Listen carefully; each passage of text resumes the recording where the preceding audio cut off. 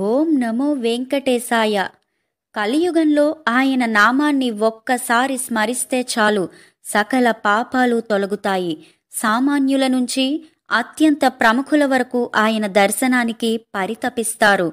భక్తుల పాలిట కొంగు బంగారంగా కోరిన కోరికలన్నీ తీర్చి అష్టైశ్వర్యాలను సిద్ధింపచేసే దైవంగా ప్రపంచంలోనే ఎంతో ప్రముఖమైన విశిష్టతను సొంతం చేసుకున్న పరమాత్ముడిగా నెలకొని ఉన్న కలియుగ వైకుంఠుడు తిరుమలలో వెలసిన శ్రీ వెంకటేశ్వరుడు. శ్రీ వెంకటేశ్వర స్వామి కొలువైయున్న పుణ్యక్షేత్రం తిరుమలకు అసంఖ్యాకంగా భక్తులు వస్తూ ఉంటారు. తిరుమల తిరుపతి దేవస్థానం మన దేశంలో అత్యంత ఆధ్యాత్మిక ప్రాముఖ్యత గల స్థలం. అయితే తిరుమల గురించి సాధారణ వాస్తవాలు మనకు తెలిసిన ఎవ్వరికీ అంతుచిక్కని రహస్యాలు మాత్రం తిరుమలలో ఎన్నో దాగి ఉన్నాయి. తిరుమల శ్రీవారి విగ్రహానికి చెమటలు పడతాయని వెంకటేశ్వరుడికి తలభాగంలో నిజమైన వెంట్రుకలు ఉన్నాయని విగ్రహం వెనుక సముద్రపు ఘోష వినబడుతూ ఉంటుందని ఇలా మొదలగునవి మనలో చాలా మందికి తెలియని విషయాలు. మరి ఇటువంటి అంతుచిక్కని రహస్యాల గురించి ఎంతో ఆసక్తికరమైన విషయాల గురించి తెలుసుకోవడానికి ఈ వీడియోను స్కిప్ చేయకుండా చివరి వరకు చూడండి. అలాగే మా ఛానల్ను ఇంతవరకు ఎవరైనా సబ్స్క్రైబ్ చేసుకొని వారు ఉంటే వెంటనే సబ్స్క్రైబ్ చేసుకోండి. పక్కనే ఉన్న బెల్ సింబల్ని కూడా ప్రెస్ చేయండి. అప్పుడు మా ఛానల్లో పెట్టే ప్రతి వీడియో యొక్క నోటిఫికేషన్ మీకు వెంటనే వచ్చేస్తుంది. ఇక ఇప్పుడు మనం ఈ ఆసక్తికర వీడియోలోకి వెళ్ళిపోదాం. కలియుగంలో భక్తులను తరింపచేయడానికి సాక్షాత్తు ఆ మహావిష్ణువే తిరుమలలో శ్రీ వెంకటేశ్వరుడిగా అవతరించాడు అని భక్తులకు అపార నమ్మకం. ఈ తిరుమల ఆలయాన్ని ఆకాశరాజు సోదరుడు తొండమాన్ చక్రవర్తి నిర్మించాడని ప్రసిద్ధి. ఏడు కొండలలో వెలసిన ఈ దేవాది దేవుడిని దర్శించుకోవడానికి ప్రపంచ నలుమూలల నుండి భక్తులు అసంఖ్యాకంగా వస్తూ ఉంటారు. అఖిలాండ కోటి బ్రహ్మాండ నాయకుడైన శ్రీ వెంకటేశ్వర స్వామివారిని ఎన్నిసార్లు దర్శించుకున్నా మరల మరల దర్శించుకోవాలి అనుకునే మహాపుణ్యక్షేత్రం తిరుమల. శ్రీ మహావిష్ణువు సాలగ్రామ రూపంలో శ్రీ వెంకటేశ్వరుడిగా ఏడుకొండలలో వెలిశాడు ఈ ఆలయంలో శ్రీవారికి విశిష్టంగా పూజలు జరుగుతూ ఉంటాయి. శ్రీవారు స్వయంభూగా వెలిసిన దివ్యక్షేత్రం కాబట్టే రోజుకు లక్ష మేర భక్తులు ఈ కలియుగ వైకుంఠానికి చేరుకుంటూ ఉంటారు. తిరుమల తిరుపతి నిండా వింతలు విశేషాలు అనేకంగా ఉన్నాయి. అదేవిధంగా శ్రీవారి గర్భాలయ రహస్యాలు కూడా లెక్కలేనన్ని ఉన్నాయి.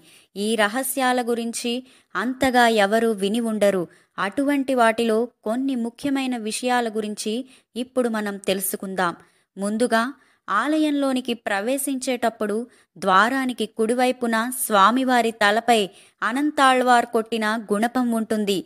చిన్నతనంలో స్వామివారిని గుణపంతో కొట్టడం వలన స్వామివారి గడ్డంపై గాయమై నెత్తురు వచ్చిందట. అప్పటి నుండే శ్రీ వెంకటేశ్వర స్వామివారి గడ్డమునకు గంధం పూయడం జరుగుతోందని ప్రతీతి. తరువాత స్వామివారి విగ్రహానికి చిక్కులు లేని సహజమైన జుట్టు ఉంటుంది.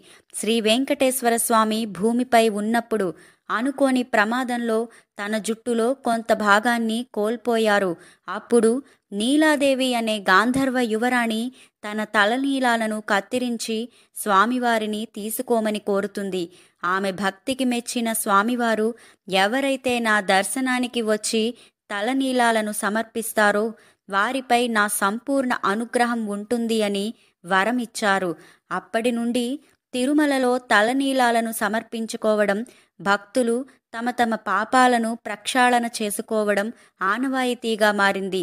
మరొక అద్భుతమైన రహస్యం ఏమిటంటే స్వామివారి సేవలకు వినియోగించే పువ్వులు పళ్ళు పాలు తదితర వస్తువులు అన్నీ తిరుమలకు ఇరవై రెండు కిలోమీటర్ల దూరంలో ఉన్న ఒక గ్రామం నుండి తీసుకువస్తారట.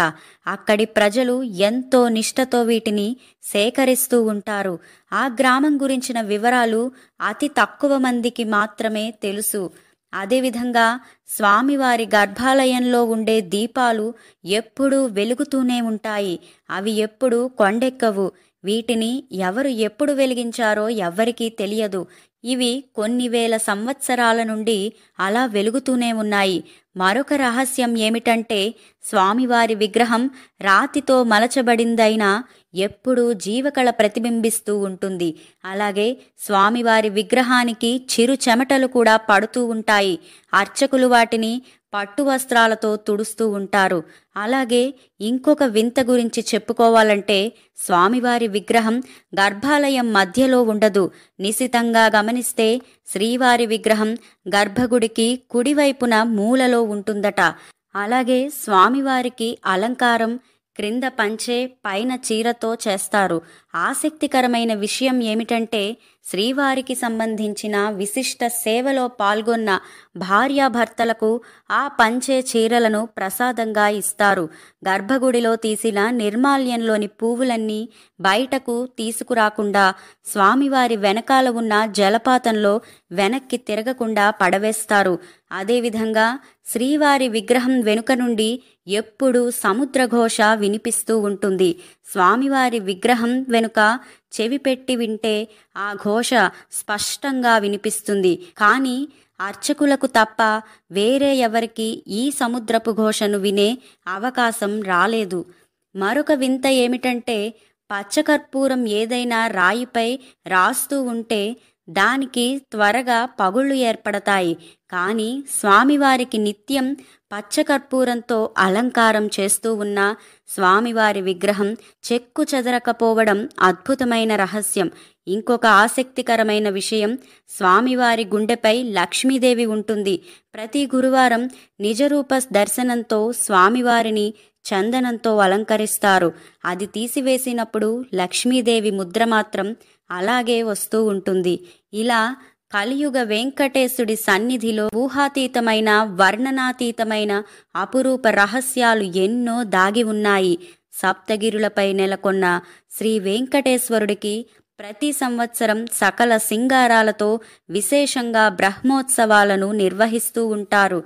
నిత్య కళ్యాణం పచ్చ తోరణంలా ఎప్పుడూ భక్తుల రద్దీతో కళకళలాడే ఆ వెంకటేశ్వరుడి నిలయానికి భక్తులు తండోపతండాలుగా విచ్చేసి స్వామివారి దర్శనానికై ఎన్ని గంటలైనా ఓపికగా నిరీక్షించి స్వామివారిని దర్శించుకుని పునీతులవుతారు. కలియుగ వెంకటేశ దర్శనం సర్వ పాపహరణం అని భక్తుల అపార నమ్మకం. ఓం నమో వెంకటేశాయ. ఫ్రెండ్స్ ఇటువంటి మరిన్ని ఆసక్తికరమైన వీడియోల కోసం మా ఛానల్ను ఇంకా ఎవరైనా సబ్స్క్రైబ్ చేసుకోకపోతే వెంటనే సబ్స్క్రైబ్ చేసుకోండి. పక్కనే ఉన్న బెల్ సింబల్ని ప్రెస్ చేయడం వలన మా ఛానల్లో పెట్టే ప్రతి వీడియో మీకు ముందుగా వచ్చేస్తుంది. అలాగే మీరు ఈ వీడియో చూసిన తర్వాత మీ అభిప్రాయాలు ఏంటో మాకు కింద కామెంట్ సెక్షన్లో వెంటనే తెలియచేయగలరు. Thanks for watching.